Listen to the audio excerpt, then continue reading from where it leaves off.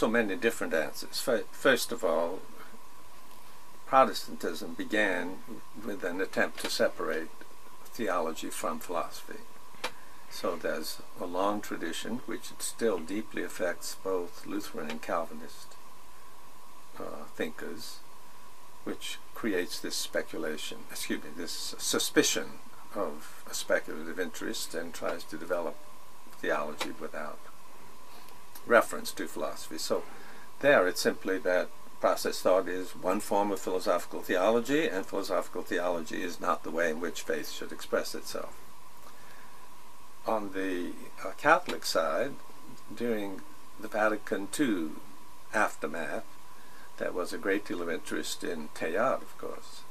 And then Teilhardians were typically interested in, in Whiteheadian process thought. Teilhard is also process thought, of course.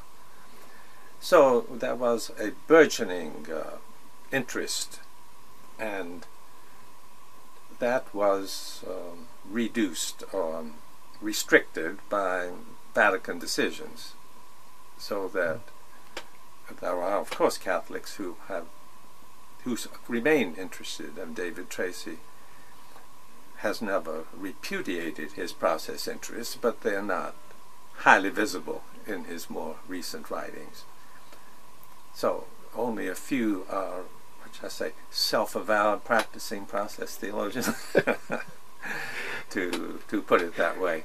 So I think that's that it, that's really a decision of the of the church that this is not the way to go, and that some form of Thomism is is to be favored.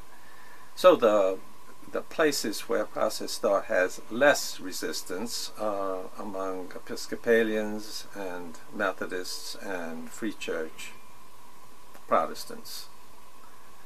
And uh, there it has had a following, uh, say among Methodists, I'm a, I'm a Methodist. Uh,